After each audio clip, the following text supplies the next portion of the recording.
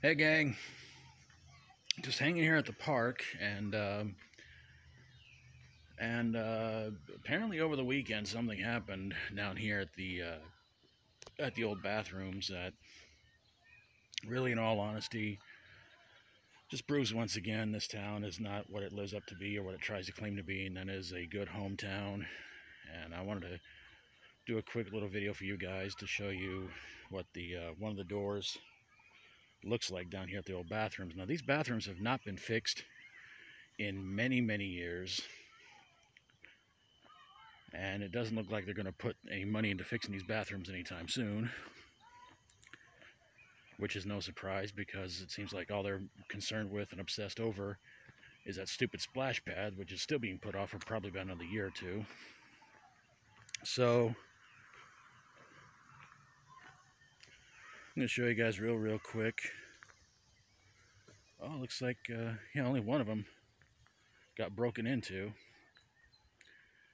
And I hope we don't see too much anything disgusting in here. And, uh, yeah. See right there, it looks like the, uh, well, it doesn't look all that bad in here, but yeah, apparently the, uh, the lock's been busted off somehow, some way, they were able to break that lock completely off of here. And uh, like I said, the bathrooms haven't been fixed around here in many, many years.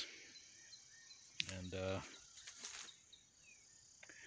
uh, it doesn't look like they were trying to really break off the lock or anything like that. But uh, there was a guy down here this past Monday looking at things, and uh, and it's really amazing. I mean, you look at this one over here, and it seems just fine.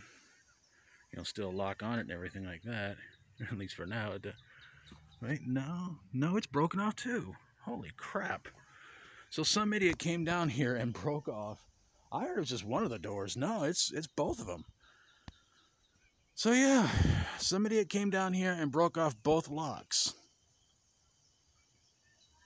gum! I don't believe this. I mean, you look at this old you look at this old place and you look how bad it's falling apart. And now we have two bathrooms broken into.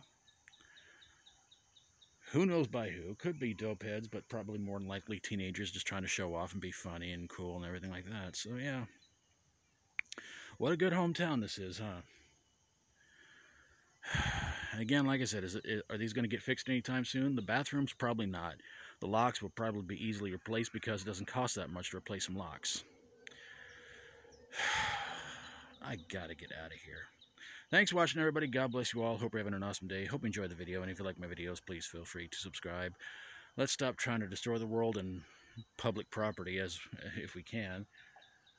Uh, let's keep praying all this virus and disease, scare, nonsense is going to stop very, very soon. And whether or not you believe in God, He believes in you. And uh, if you would help a fellow YouTuber reach 100 subscribers, 1,000 subscribers, 10,000 or 100,000 subscribers, I'm still trying to get to 500 myself.